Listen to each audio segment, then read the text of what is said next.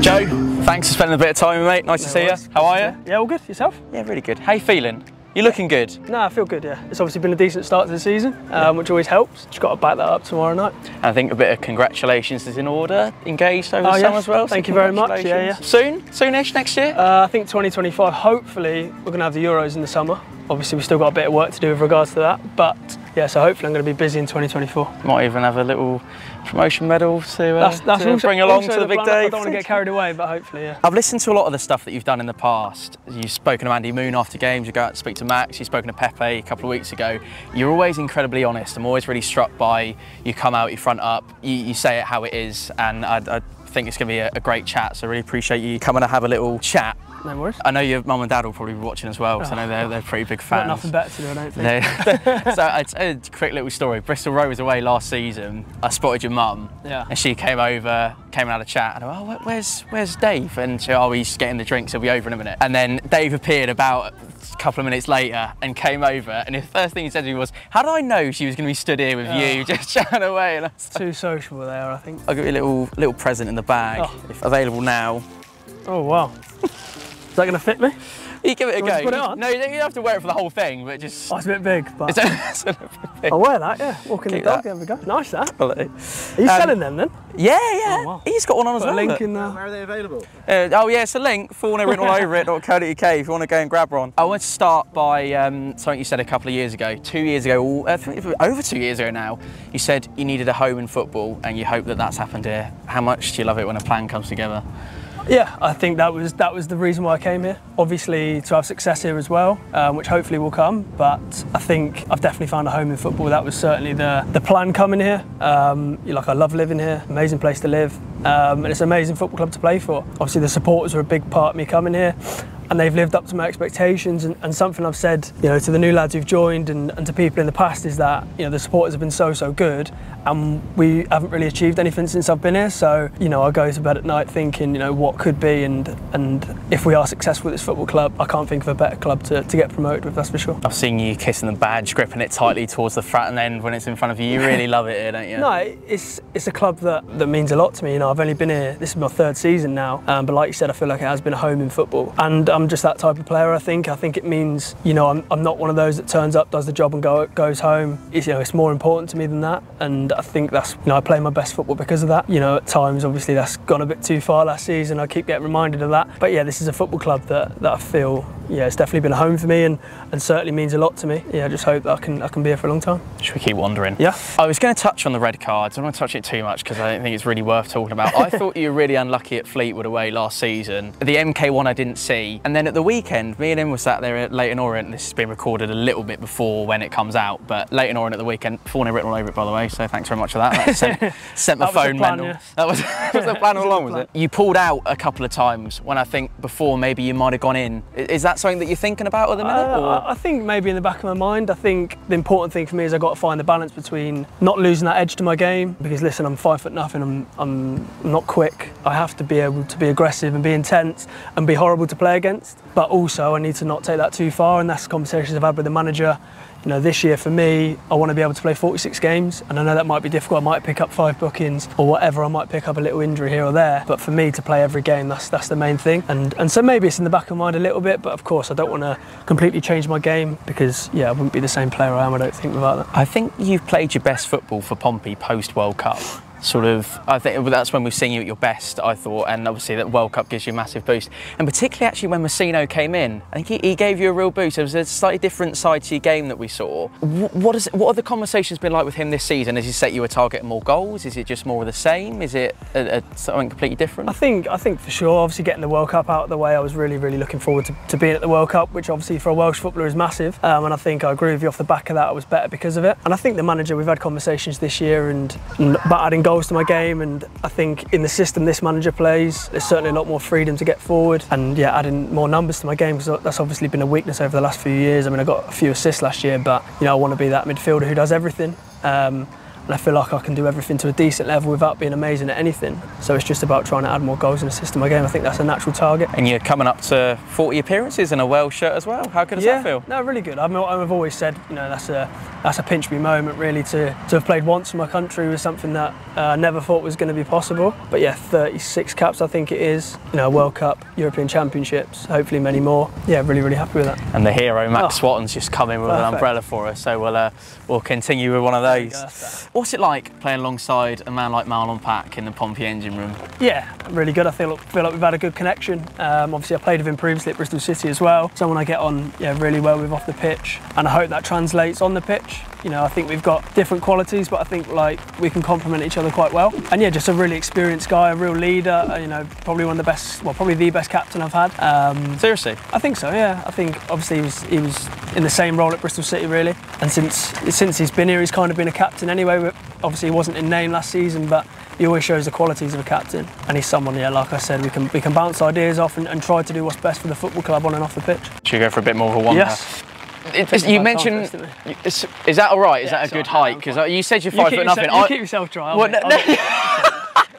you, no, you're all right. That's fine. You're in there. It's not official merchandise. No, it's not. It's not Pompey Blue either, oh. which is a disaster. You mentioned qualities of a captain. I think you show qualities of a captain. Uh, how seriously do you take that? Would you consider yourself a captain without the armband? I think it's not something I've ever, ever thought about really. We've got a leadership group here. There's, there's a few of us. Which is? Which is me, Marlon, Colby and Joe Rafferty. And I think that's just about trying to do what's best for the team and obviously a bit of a bridge between the management and the, the players. And it, yeah, it's not something I've ever considered. Of course, if, if that happens one day, um, you know, it'd be a proud moment, but I wouldn't change the way I am you know, i would like to think I'm the same person with or without an armband. And obviously we've got a fantastic club captain in Marlon. It's just about assisting him as, as best as possible because I think any any successful team has a lot of leaders on the pitch, um, and I think that's the case here. We've got we've got a few this year.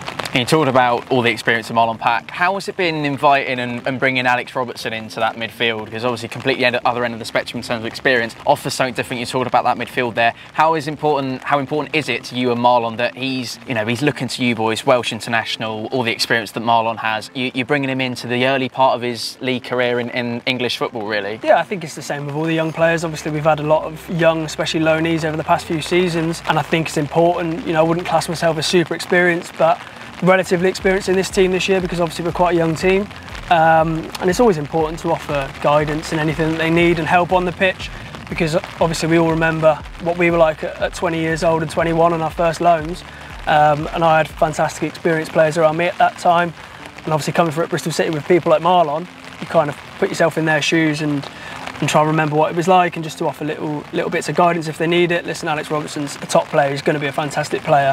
Hopefully, he's going to be brilliant for us this year. I'm sure he will be. So he doesn't need me to tell him how to do a Cruyff turn or to um, do a step over and put it in the top corner.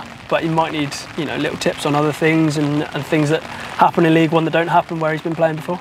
Should we wander over that yes. way? Uh, I know you say you don't consider yourself all that experienced. I reckon you're probably the, one of the more experienced boys in the squad now. You think about all the changes over the summer as well. How has that been, bringing so many new players into a dressing room? Have you found it easier because there's been so many changes, or was it more difficult because there's a, such a sheer number of them? I, th I, think it helps when they're good personalities. I think that's what we've seen this year. Is obviously we've had a big changeover of players, but a lot of the players are really, really good lads, really keen to improve, and they came here for the right reasons. I think the recruitment's been really, really good which is not a surprise to us. Um, you know, we know how good Rich is at his job and, and his team and the manager.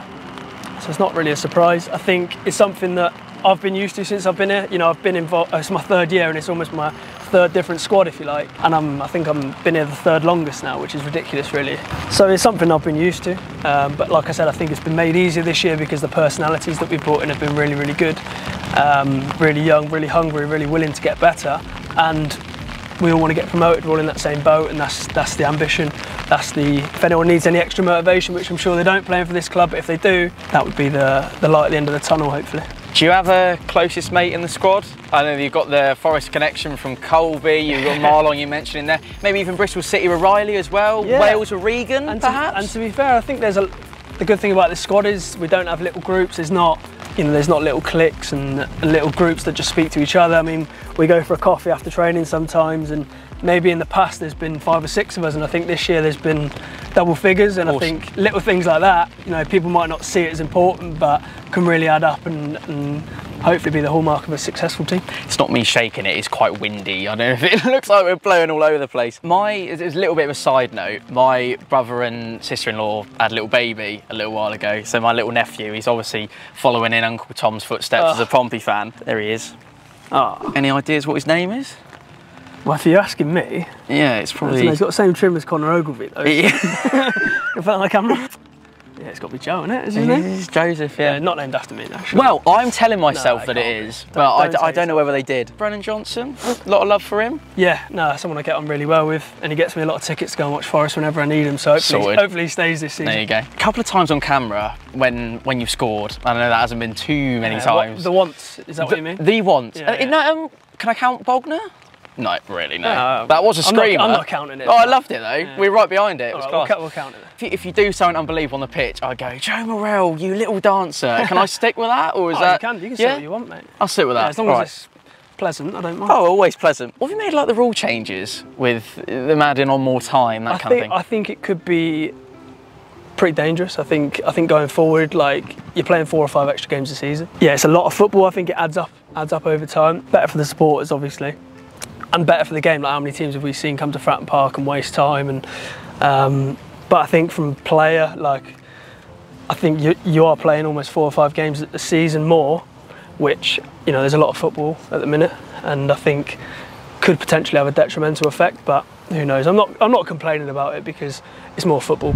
Just then to end, I wondered if you'd be happy to do a couple of quick fire questions, Yes. Gary Neville overlap style. it's got that kind of vibe, isn't it? We'll get, it's definitely that kind of vibe. Number 16, so we'll go with 16 questions. Oh, nice. Has that got any relevance, the number 16? Uh, it was my first number as a kid, and I used to love watching Roma when I was younger and, and De Rossi. So I used to love watching De Rossi, and he obviously wore 16 quite famously. Um, so it's come from that really, Nice. and then yeah, I've stuck with it. Favourite TV show? Uh, Or one you're watching right now? watching Below Deck with my girlfriend now, or fiance now. Yeah, I was gonna Um, Yeah, yeah, we're going through all them, so I'll say that. But Entourage probably as a classic one, I'd say. What do you do to relax and switch off? I reckon walking the dogs Walk is going to be the answer to that. Uh, watch plenty of sport. I love watching sport, American sports. Uh, but I'd say wa- wa- uh, walking the dog and my coffee. You're a big NFL fan, aren't you? I'm a big NFL fan, yeah. Holiday destination. I'm gonna go with Tuscany probably. Favourite sport other than football is NFL then, isn't it? Yeah, NFL. Well, I like the NBA as well, but I'd go NFL. What do you reckon you'd be if you weren't a footballer? What would you be doing? Oh, I wouldn't be in the NFL, that's for sure. I would, if I wasn't in football at all, I would. I don't know. I'd, maybe maybe politics. I'm quite interested in Nice. politics. So yeah, maybe something like that. You're a Rishi fan or a I'm not a Rishi fan. We'll No. put it that way. You can't be living here, can you? best player you've ever played with or against? Uh, with, I'd have to say Gareth Bale. I think it's a pretty easy one. I think most people who've played with him would say the same. Against, uh, probably go either Modric or Verratti. There's some names in Yeah, there, aren't there? I've played against Mbappe as well, but obviously not. I like to pick midfielders normally, so I'd go Modric or Verratti. Two good ones. Best atmosphere at Fratton Park you've experienced? Is there one you can pick out? Because it's normally pretty good. Bolton was good last year, so we'll go with that off the top of my head. I'm sure there's probably been ones that are up there. We'll go with Bolton. Favourite city other than Pompey? Bristol, where I grew up. I like Bristol. Football team you supported growing up, Forest. Yeah, Forest. Liverpool when I was really young, and then my dad got me into Forest, unfortunately, so I'd say Forest. Best away ground? Uh, always like playing at Hillsborough. I enjoyed Derby last year. Um, For more than one reason. yeah, no.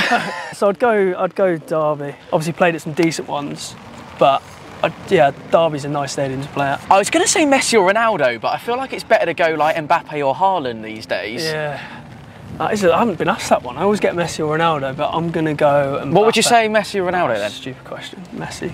Good lad. Every single day. Good lad. There's a few lads who say Ronaldo and Are we going to name and shame or? Josh Oluwayemi. I've had a few arguments with him about it. Um, I think he's finally admitted it now. Uh, but for the other one, I'd go Mbappe. Funniest player in the Pompey squad?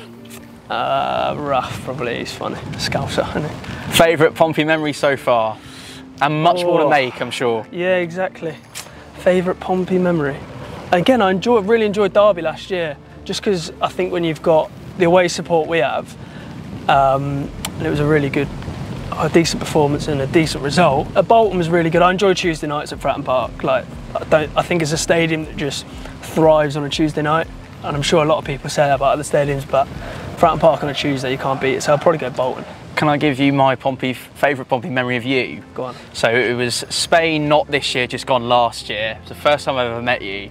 And you came over, you've been on the, it was an open training session on the Friday. You came over to us, had a little chat after the game, uh, oh, not after the game, after the training session with the fans. You went, more people want pictures of you these days than you do us Pompey players. Yeah. And that just, I, I don't think it's strictly true, but I, it Probably, just probably out. not far off. Sporting icon, doesn't have to be football. Oh, sporting icon. Uh, I'm gonna go. I'm gonna go footballer. I, I re- like Xavi and Iniesta when I was younger. I just grew up loving watching them. As a small midfielder, I'd go with them. And yeah, I'd probably say yeah either of them. The person you admire most in your life. Personally, I'd say my. I have to say my fiance, don't I? I, I just love coming home, win, lose or draw, and I've got my missus there, and my dog there, and they don't care how I've got 'em. And I think that's that's important because I'm one of them. If I was on my own and had a bad game or we'd lost, like my weekend's ruined. But when I've got other people there, it kind of makes it a little bit easier to forget about it sometimes. And then last one, you've touched on it a little bit. Biggest ambition next season for Pompey, both personally and as a team. I think it's an easy question. Um, I think getting promoted. I think I don't think there's a better football club to get promoted with, um, and hopefully we'll find that out. Joe, that was unreal. No worries. Thank you so much, mate. Appreciate Good it. you, mate. Do we need an umbrella? Uh, is it still raining? It literally stopped as we finished.